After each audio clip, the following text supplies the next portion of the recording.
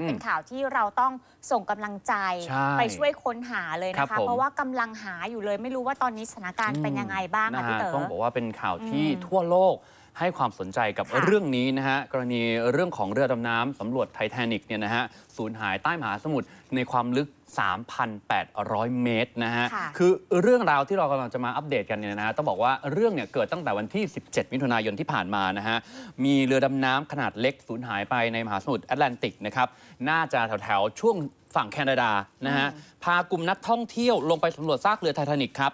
ขณะที่กลุ่มยามฝั่งสหรัฐเนี่ยนะฮะตอนนี้ก็กำลังระดมทุกวิถีทางทุกกำลังนะครับเพื่อค้นหานะฮะลูกเรือที่อยู่ในเรือดำน้ำนี้ค่ะเรือดำน้ำสำรวจไททานิกลำนี้เนี่ยนะฮะดำเนินการโดยบริษัท Ocean Gate Expedition นะฮะซึ่งจะนำลูกค้าออกเดินทางไปสำรวจซากเรือไททานิกนะฮะที่ระดับความลึก 12,500 ฟุตนะครับหรือว่าจริง ๆ ก็ประมาณ 3.81 กิโลเมตรจากผิวน้ำนะฮะใต้มหาสมุทรแอตแลนติก ใช้เวลาทั้งสิ้นครับ 8 วัน ค่าใช้จ่ายเนี่ยอยู่ที่คนละ 20,000เอ่อสองแสนค่ะ250,000 ดอลลาร์สหรัฐนะค่ะฮะ ก็ตีกลมๆก็ 8 ล้านปลายๆเกือบเกือบ9ล้านบาทนะครับบริษัทก็พากลุ่มนักท่องเที่ยวฮะ เดินทางโดยเรือ MV Polar Prince นะฮะ ออกจากเกาะนิวฟันแลนด์ของแคนาดาในวันที่ 17 มิถุนายน ก่อนจะปล่อยเรือดำน้ำขนาดเล็กนะครับ ที่สามารถบรรจุ ผู้โดยสาร 5 คนออกจากเรือในช่วงตี4ของวันอาทิตย์ที่ 18 นะฮะ ลงไปสำรวจซากเรือไททานิกแล้วเรือก็ขาดการติดต่อไปนะฮะหลังจากที่ลงไปในน้ำประมาณ 1 ชั่วโมง 45 นาทีนะฮะค่ะเรือดำน้ำขนาดเล็กเนี่ยมีชื่อว่าไททันนะฮะบรรทุกผู้โดยสารได้ 5 คนประกอบไปด้วยคนขับเรือผู้เชี่ยวชาญแล้วก็แขกอีก 3 คนนะครับผู้ที่สูญหายไปเนี่ยนะฮะพร้อมกับเรือเนี่ยมีทั้งทหารผ่านศึกของกองทัพเรือฝรั่งเศสนะครับผมมีสต็อกตันรัชซีอีโอของบริษัทโอเชียนเกต ฮามิชไฮดิงนะฮะมหาเศรษฐีนักผจญภัยชาวอังกฤษนะครับผมข้อมูลจากโอเชียนเกตเนี่ยระบุว่าเรือดำน้ำไททันเนี่ยนะฮะมีออกซิเจนเพียงพอสำหรับ 5 คนบนเรือเป็นเวลา 96 ชั่วโมง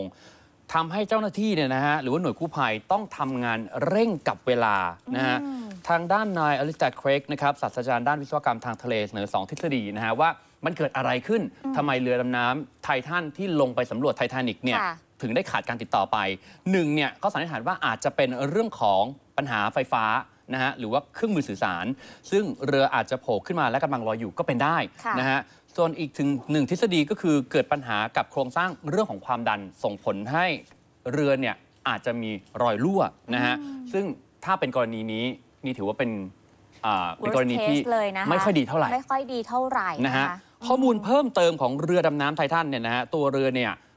ไม่มีแผนสำรอง ไม่มีกระสวยฉุกเฉินนะครับหากเรือขึ้นสู่ผิวน้ำไม่ได้เนี่ยคนทั้งเรือเออคนหรือว่าลูกเรือทั้งหมดที่อยู่ในเรือเนี่ยก็ต้องบอกว่าไม่น่ารอดนะฮะเนื่องจากเรือเนี่ยมีน้ำหนัก 1432 กิโลกรัมนะครับผมสามารถดำได้ เขาบอกว่าจริงๆเนี่ยดำได้ประมาณ 4,000 เมตร ที่เขาเคลมนะฮะทางค่ะบริษัทเนี่ยเคลมไว้ แล้วก็อ่ามีอากาศ เอ่อที่ให้เอ่อผู้ลูกโดยสารเรือด้านในสามารถดำรงชีพอยู่ได้นะฮะ 96 ชั่วโมง ค่ะ ต่อการดำลงไปหนึ่งครั้ง เมื่อเช้าเนี่ยฝนเห็นข่าว ครับเขาบอกว่าถ้าคำนวณแล้วเนี่ย อืมตอนเนี้ยเหลืออากาศที่จะอยู่อ่าหายใจอครับยู่ผมภายอ่าภายในเรือเนี่ยอืมอยู่ประมาณแบบ 40 ชั่วโมงเท่านั้น ถ้าก็ทบกับเวลาตอนนี้ก็อาจจะประมาณเหลือสักประมาณ 30 ชั่วโมงนิด ๆ แล้วครับค่ะ ก็คือวันพรุ่งนี้ อืประมาณโดยประมาณนะฮะโดยประมาณครันะบผมคะอันนี้ก็เราก็ต้องเอาใจลงไปช่วยแหละว่าอืมเอออยากจะให้ได้พบเจอไวๆนะคะครับสำหรับคนที่อยู่ในเรือดำน้ำลำนั้นประกอบไปด้วยนะคะ ก็มี 5 ท่านด้วยกันนะคะ ก็มีฮามิชฮาร์ดิงนะคะ เป็นนักธุรกิจพันล้านค่ะ แล้วก็นักสำรวจชาวอังกฤษนะคะ ซึ่งครับก็เป็นประธานบริษัท ด้านอากาศยาน Action Aviation ด้วยนะคะ แล้วก็มีนักธุรกิจชาวปากีสถานค่ะครับชาสดาดาวุก แล้วก็บุตรชายด้วยคือสุเลมานนะคะนะฮะแล้วก็มีประธานเจ้าหน้าที่บริษัท Ocean Gate Expedition ค่ะ ซึ่งก็เป็นเจ้าของเรือดำเนี้ยนะคะ แล้วก็เป็นผู้ที่ให้บริการนำเที่ยวอ่าชมซากไททานิกด้วยนั่นคือนายสต็อกตันรัชนั่นเองค่ะครับผมแล้วก็พอองรีนาจิโอเล่นะคะเป็นนักสำรวจชาวฝรั่งเศสวัย 73 ปี ทั้งหมด 5 ท่านด้วยกันที่ครับลงไปอาอยู่ภายใต้เรือของไททันนี้นะคะอืมต้องบอกว่าอืมจริงๆเอ่อเขาเท่าที่ข่าวนะ ตอนนี้ต้องบอกว่าคือมีเอ่อ ในโพสต์เองในฟีดเองเนี่ยนะฮะค่ะจริงๆก็ต้องบอกว่ามีข่าวมาหลายช่องหลายทางช่องทางหลายหลายทกฤระษแสฎีนะฮะใช่แต่ว่าเอ่อ ทั้งนี้ทั้งนั้นเราเชื่อว่าทั่วโลกเองเนี่ยตอนนี้ก็กำลังจับตาดูอยู่ แล้วก็เป็นกำลังใจให้นะฮะอืมในการค้นหา